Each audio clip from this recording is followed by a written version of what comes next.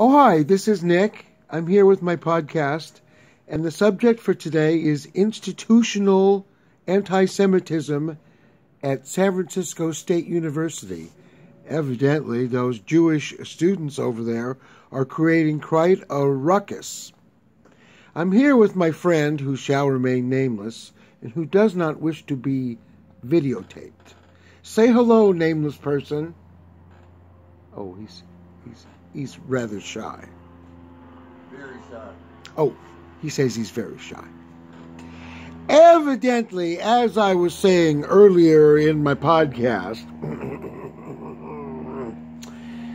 the anti Semitism at San Francisco State University is so bad that.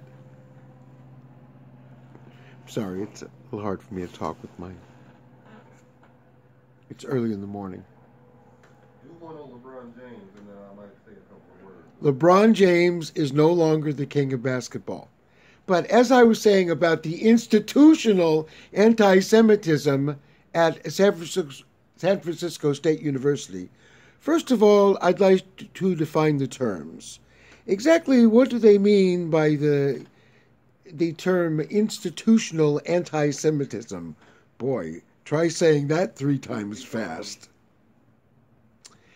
Evidently, the anti Semitism at the local centers of learning in our lovely state of California fully recognize and support the procardia racism that is inscribed upon their hearts that all Jews are bad. Ooh.